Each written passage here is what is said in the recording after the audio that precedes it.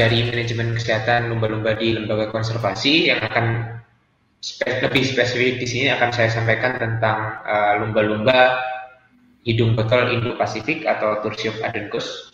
Kita sering menyebutnya seperti itu. Lumba-lumba hidung botol uh, Indo-Pasifik. Jadi sebelum kita memulai untuk manajemen kesehatan, kita akan mulai yang dasar dulu atau basicnya dulu mengenai anatomi dan fisiologi lumba-lumba hidung botol itu sendiri. Nah, karena lumba-lumba itu sering dikelirukan dengan ikan, sehingga uh, pada poin yang pertama akan saya paparkan dulu apa sebenarnya itu mamalia. Jadi ini di masyarakat banyak yang masih mengira bahwa lumba-lumba itu ikan, padahal lumba-lumba itu sebenarnya adalah mamalia. Jadi mamalia adalah anim, uh, hewan yang dia mempunyai anak, beranak, itu bukan bertelur, dan uh, dia mempunyai puting susu. Dan mempunyai perkembangan otak yang relatif lebih baik daripada ikan. Dan mamalia juga mempunyai ciri dia punya rambut ataupun uh, uh, bulu gitu, fur or hair. Nah, secara garis besar untuk perbedaannya terlihat sebenarnya sangat jelas. Kalau dolphin itu karena dia dia dia bernafasnya menggunakan paru-paru, sedangkan kalau kita ambil contoh hiu, ikan hiu, di sini mungkin ini uh, uh, pasiennya dok Eka Diandra ya. Jadi kalau hiu bernafas dengan insang, kalau dolphin bernafas dengan paru-paru. Nah kemudian dolphin itu punya yang namanya mammary gland atau uh, kelenjar mamari yang terletak di uh, dekat dengan uh, lubang genital di belakang, di dekat ekor. Itu secara garis besar. Nah, kemudian untuk uh, Indo-Pacific Bottlenose Dolphin atau Tursiop adencus itu mempunyai ciri-ciri mempunyai moncong yang lebih panjang daripada Tursiop truncatus atau uh, common bottlenose dolphin. Dan uh, menurut IUCN statusnya sekarang adalah near threatened atau mendekati terancam gitu. Nah, kemudian yang uh, untuk yang Tursiop adencus ini dia di dorsalnya, uh, di ventralnya dia ada bintik-bintik. Itu yang membedakan uh, adencus dan Tursiop truncatus. Nah, uh, Tursium adencus ini masuk dalam ordo Cetacea atau kelompok uh, paus, lumba-lumba dan porpoise. Jadi uh, saat ini kelompok lumba-lumba yang paling besar adalah uh, Orcinus orca dan ini masih sering melintas di wilayah perairan Indonesia saat ini. Selain Tursium adencus dan Tursium truncatus yang tadi kita paparkan perbedaannya, jadi kalau Tursium truncatus dia berwarna agak gelap lebih gelap daripada Tursium adencus dan mempunyai moncong yang lebih pendek untuk yang Tursium truncatus dan tidak ada totol-totol di area ventral tubuhnya. Nah, kemudian ini uh, ada beberapa penelitian baru yang menemukan jenis spesies baru Tursiop yaitu Tursiop australis dan ini belum uh, mempunyai data yang lebih. Jadi uh, saat ini yang ada di penangkaran di seluruh dunia itu rata-rata adalah Tursiop adencus dan Tursiop truncatus.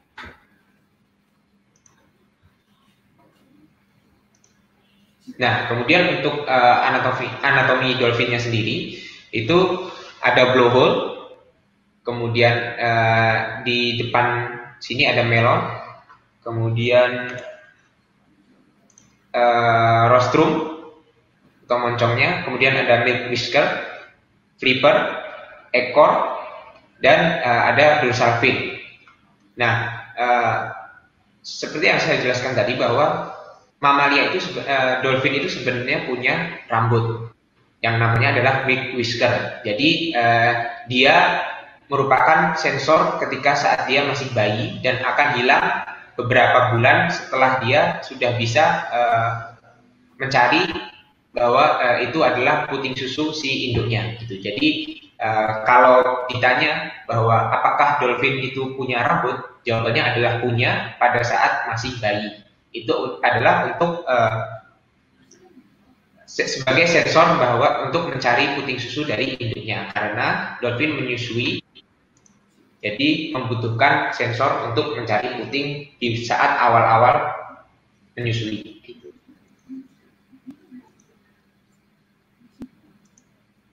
Nah kemudian dolphin sebenarnya juga punya telinga, tapi tidak ada telinga bagian luar, hanya saja uh, ada uh, lubang kecil yang itu bisa terlihat di belakang matanya. Kalau kita melihat dolphin di uh, posisi yang lebih dekat, maka kita akan tahu bahwa itu ada titik dan itu yang uh, telinga pada itu adalah telinga pada uh, dolphin.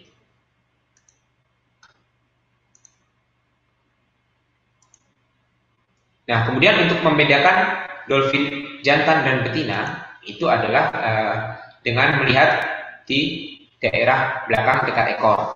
Kalau yang jantan itu biasanya lubang genital dan lubang anus itu ada jaraknya. Ini lubang genital, ini lubang anus. Nah, kalau pada uh, yang betina itu dia ada puting susu di di antara lubang genital dan lubang anus.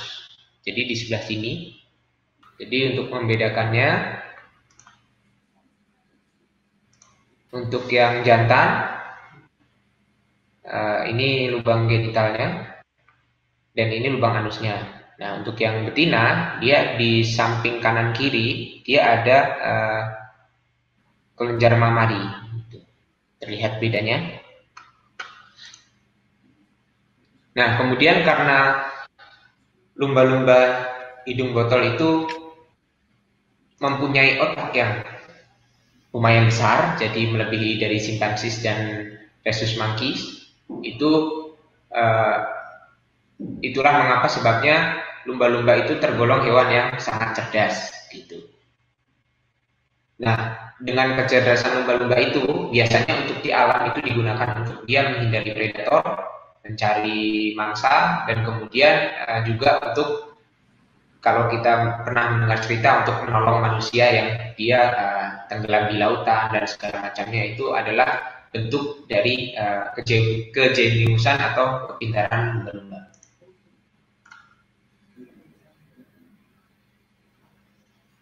Kemudian untuk uh, basic internal anatominya sendiri, lumba-lumba mempunyai tiga sekat lambung. Jadi uh, setelah esophagus dia ada four stomach, kemudian ada main stomach dan ada pyloric stomach. Nah, fungsi dari force stomach itu sendiri adalah untuk proses-proses mekanik dan penyimpanan sementara sebelum masuk ke main stomach. Main ini berfungsi untuk proses-proses enzimatis, mengolah makanan yang sudah disimpan untuk proses enzimatis dan kemudian dapat dicerna oleh tubuh itu. Dan pyloric stomach ini untuk uh, sebelum masuk ke duodenum.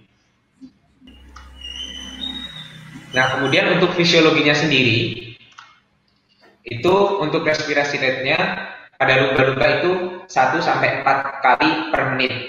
Nah, itulah mengapa lumba-lumba dapat bernafas secara efisien. Jadi sekali mengambil nafas, lumba-lumba itu dapat menyelam ada yang bilang 10 sampai 15 menit di dalam air tanpa mengambil nafas kembali seperti itu. Dan itu membuat uh, lumba-lumba dapat mencari mangsa dengan sangat jauh dan untuk menghindari predator tentunya. Kemudian untuk heart rate-nya sendiri itu kurang lebih 100 beats per menit. Untuk body temperaturnya 35 sampai 37 derajat Celcius. Dan untuk ekshalasi dan inhalasi bisa sekaligus 0,3 detik. Kemudian untuk konsumsi pakannya untuk di lembaga konservasi itu menggunakan diet 6 sampai 8% dari berat badan. Nah, untuk uh, dewasa kelamin pada jantan itu antara umur 10 sampai 15 tahun dan untuk yang betina itu bisa lebih cepat antara 5 sampai 13 tahun. Atau uh, jika panjang tubuhnya sudah sesuai sudah mencapai 85% uh, panjang tubuh dolphin dewasa maka sudah bisa untuk disebut bahwa lumba-lumba itu sudah dewasa atau sudah matur. Nah, kemudian untuk Kebuntingan pada lumba-lumba itu berlangsung selama 12 bulan, menyusuinya selama 2 tahun, dan kemudian uh, untuk lumba-lumba itu ovulasinya adalah spontaneous ovulation 1 sampai 6 kali per tahun. Jadi uh, sesuai musiman tapi pada saat musim dia bisa estrus beberapa kali seperti itu.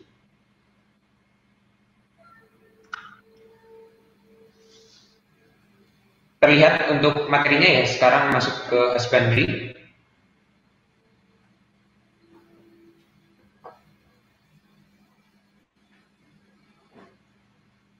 Untuk mengecek Dr. Austin bisa terlihat uh, materinya? Kelihatan. Ya. Okay. Jadi saya lanjutkan uh, untuk perawatan di lembaga konservasi itu mempunyai konsep uh, bahwa satwa ini bisa saja untuk diterapkan di hewan apa pun sebenarnya. Jadi uh, ini satwa yang ada di kolam itu dia berhubungan dengan lingkungan, kemudian fasilitas medis, pakan, dan kemudian trainer atau keeper. Jadi, uh, saat, Dok, hilang, hilang lagi. Ya. Udah, gede. Dah, udah. Oke. Okay. Oke. Okay.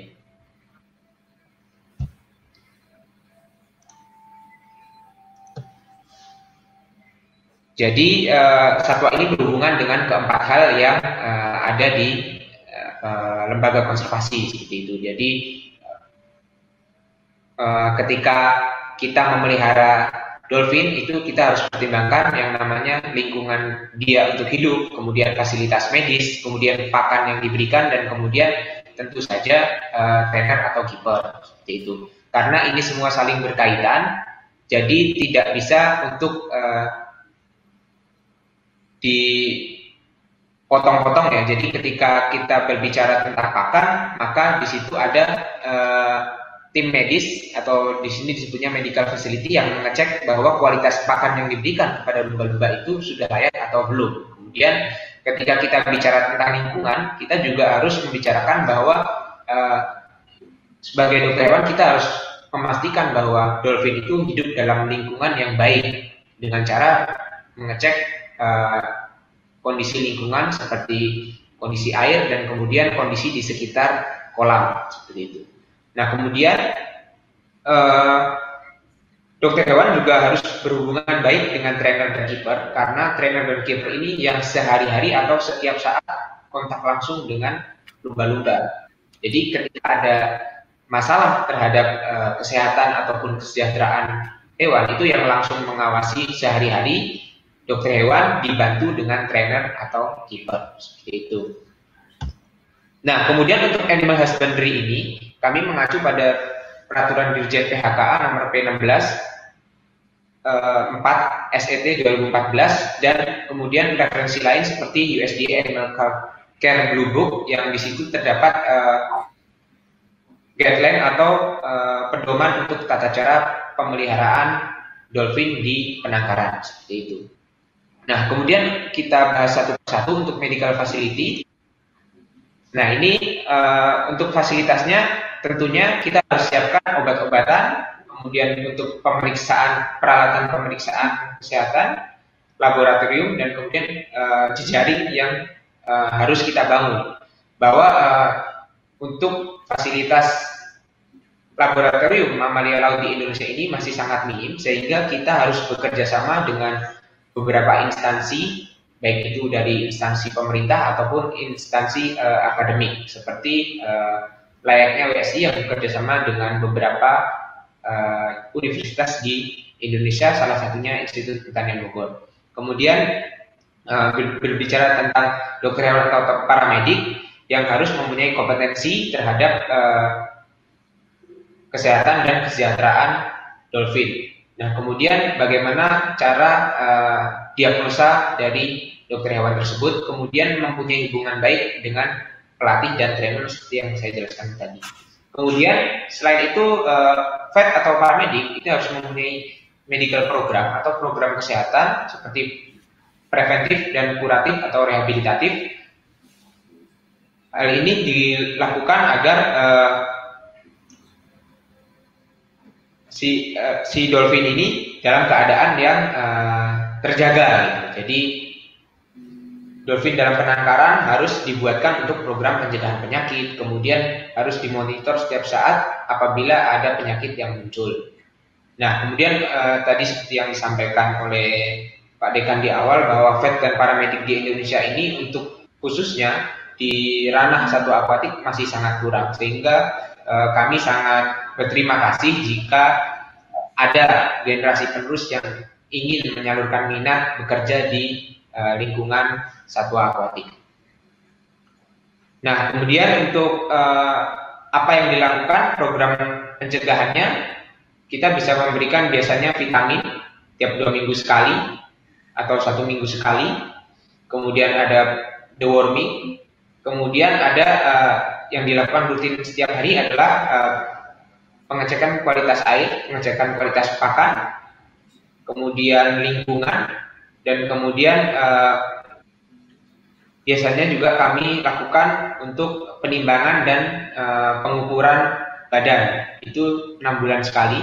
Kemudian untuk samplingnya, sampling dari darah dan serum 3 sampai 4 bulan sekali. Kemudian swab untuk blowhole atau kulit skin scraping, terus kemudian uh, sampling untuk feces dan urin atau yang belum pernah saya lakukan ini adalah biopsi. Gitu.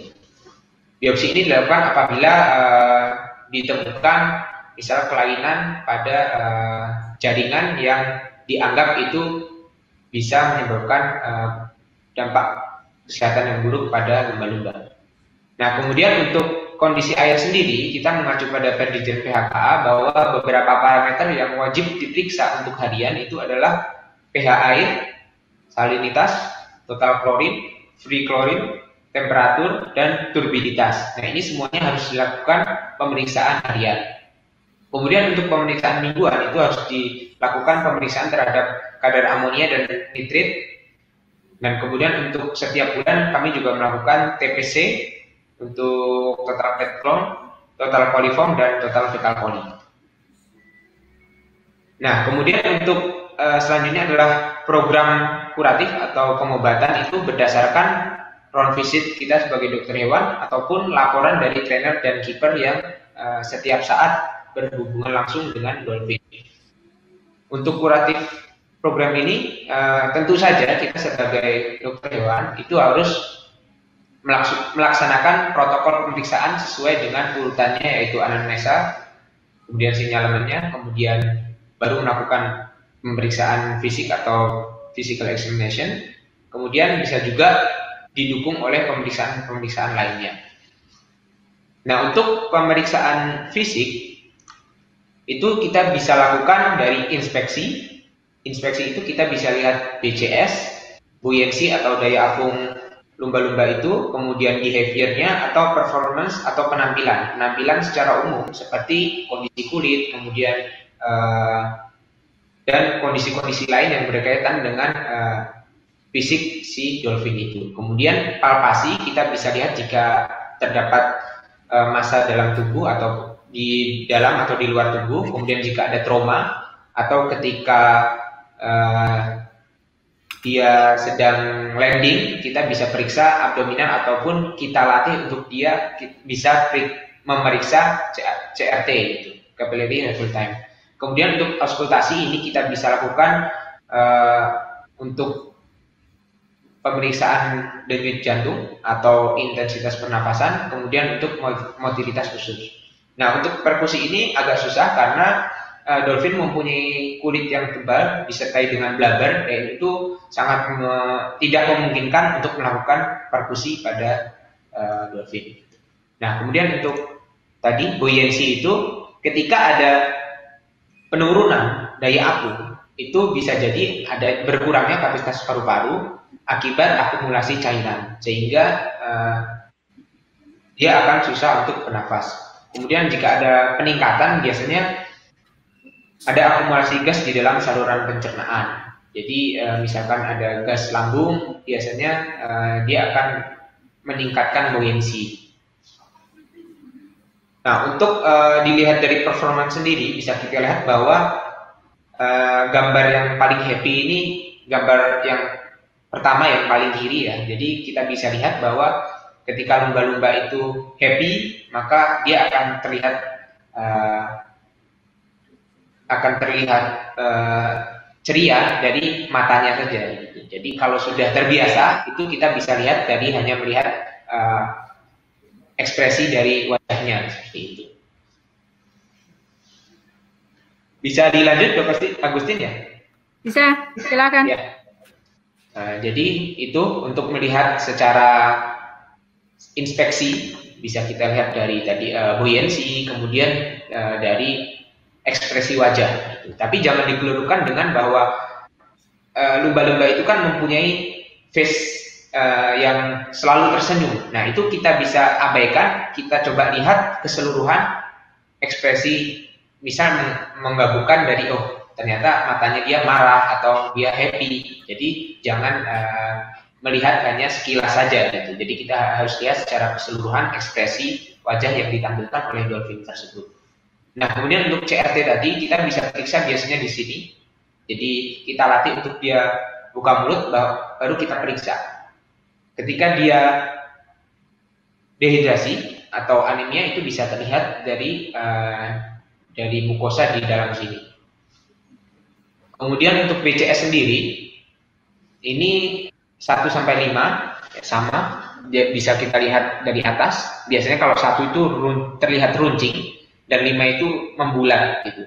Nah, inilah pentingnya uh, kita untuk menyesuaikan uh, diet yang ada di lembaga konservasi. Jadi jangan sampai hewan itu terlalu kurus ataupun dia obesitas. Gitu. Jadi untuk beraktivitas secara normal dibutuhkan uh, eh, BCS yang ideal seperti nomor 3.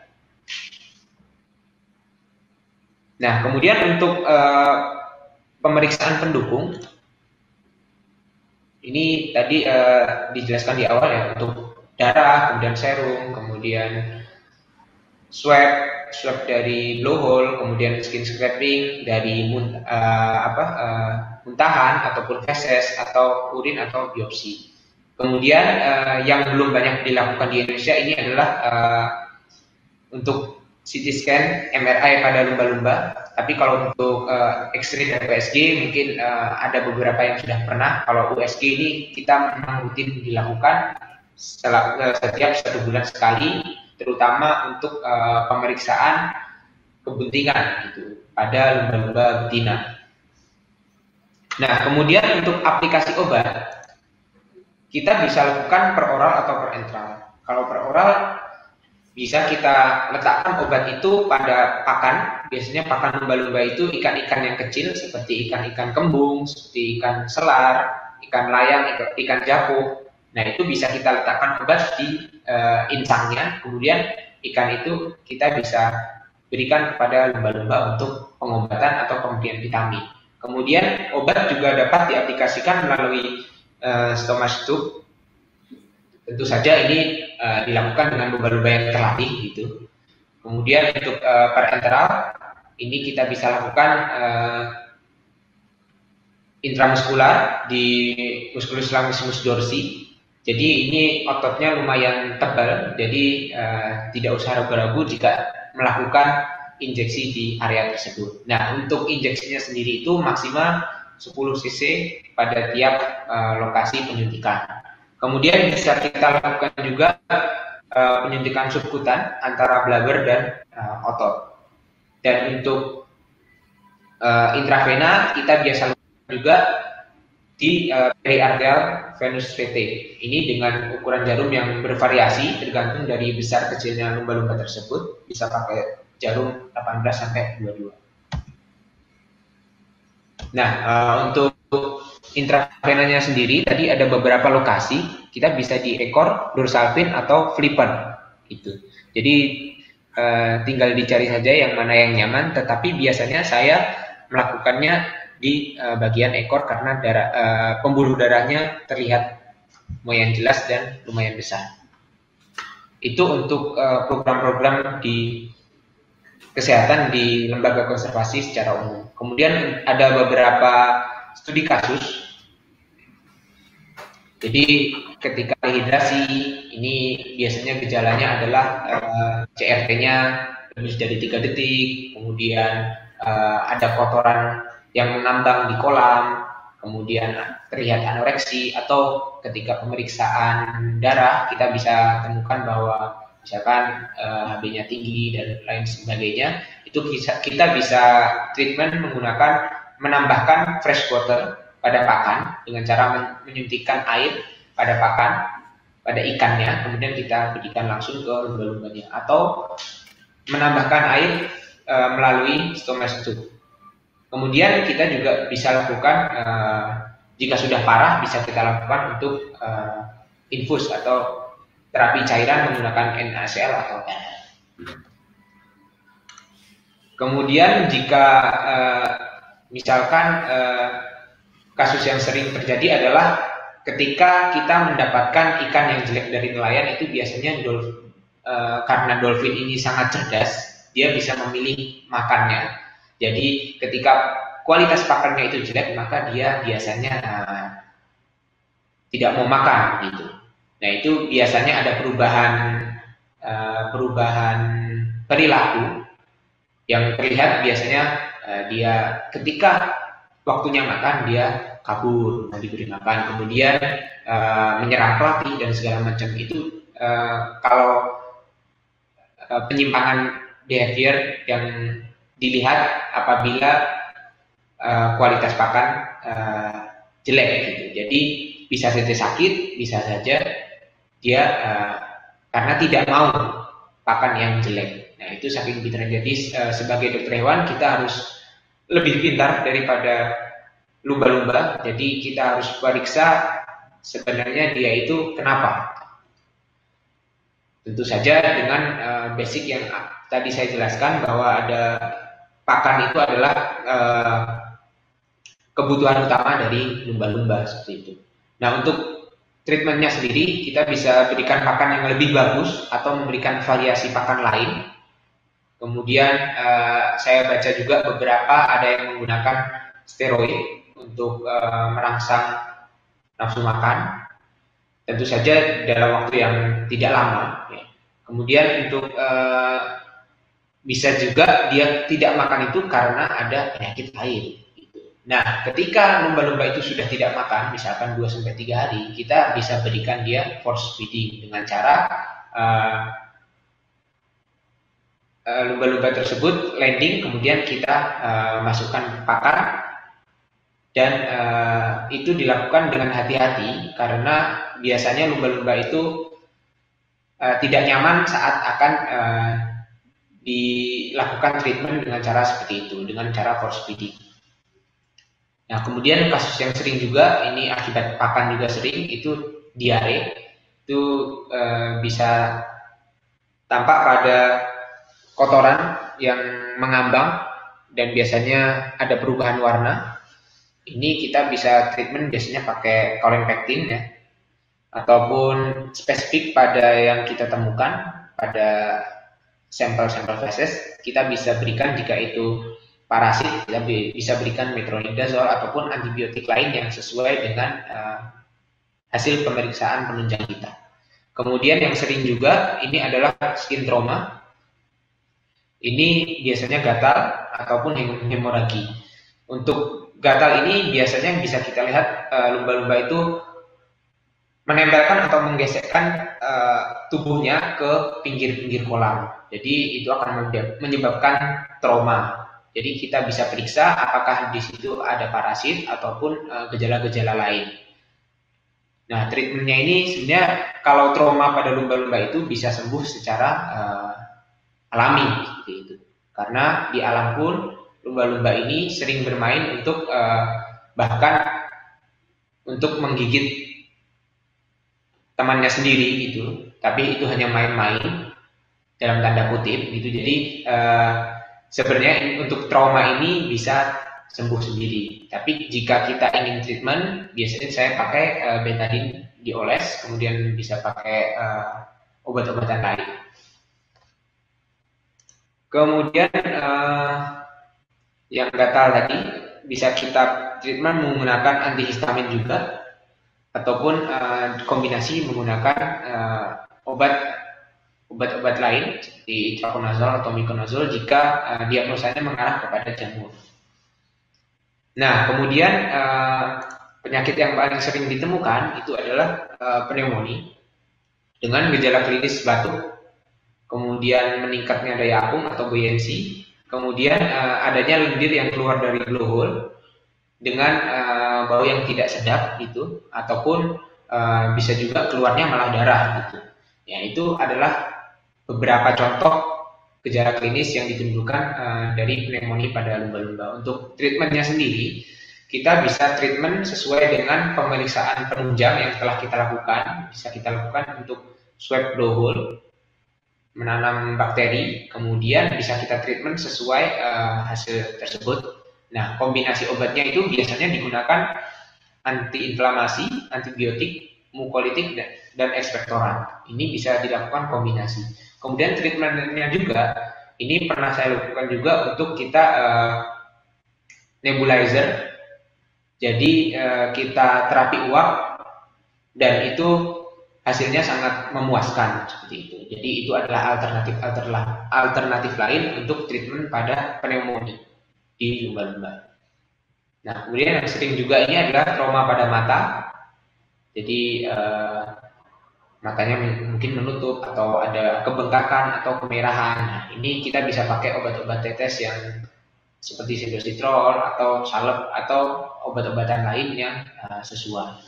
Nah, mungkin itu saja sedikit pemaparan dari saya. Terima kasih atas waktunya. Assalamualaikum warahmatullahi wabarakatuh.